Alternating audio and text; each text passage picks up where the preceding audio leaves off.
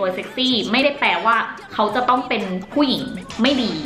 นะ ពុំពុយទ្រាំលែងបានចេញពន្លះខាងខាងទាំងមានពោះពងក្រោយឃើញគេរីគុណគ្រប់រឿងពេក ព្រឹកឡើងអត់ដឹងធ្វើអីញ៉ាំសាកល្បងបបរកំប៉ុងខ្នុរថ្មី អស់លេង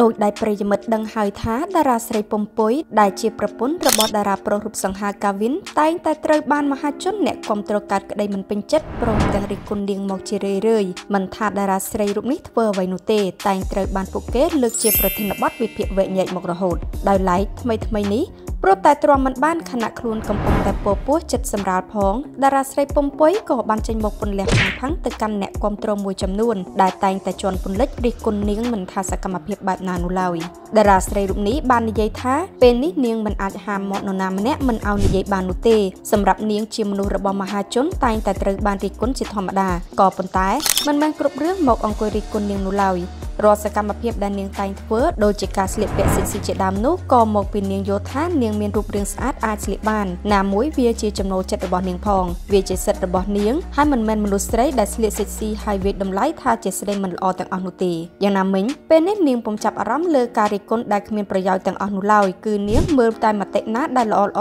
សម្រាប់ជីវិតនាងប៉ុណ្ណោះព្រោះថាជីវិតត្រូវតែរស់នៅដោយមានសុភមង្គលដូចនេះនាងមិនបានយកជីវិតដ៏ស្រស់បំព្រងរបស់នាងទៅផ្ញើនឹងមាត់អ្នកដែលរិះគន់នាងនោះឡើយ លើពីនោះតារាស្រីរូបនេះក៏បានផ្ដាំទៅកាន់អ្នកដែលរិះគន់នាងថាគួរតែរៀនផ្លាស់ប្ដូរគំនិតរិះគន់អ្នកដទៃចេញបើចង់ឲ្យសង្គមមានការរីកចម្រើនពីព្រោះមនុស្សម្នាក់ម្នាក់មានការគិតផ្សេងផ្សេងគ្នាគេពុំអាចបំពេញនៅអ្វីដែលយើងចង់បានទាំងអស់នោះឡើយគួរយកពេលងាកមកឲ្យតម្លៃមនុស្សស្រីខ្លាំងជាងនេះនិងរួមគ្នាធ្វើអ្វីដែលល្អល្អជាជាងអង្គុយចាំតែរិះគន់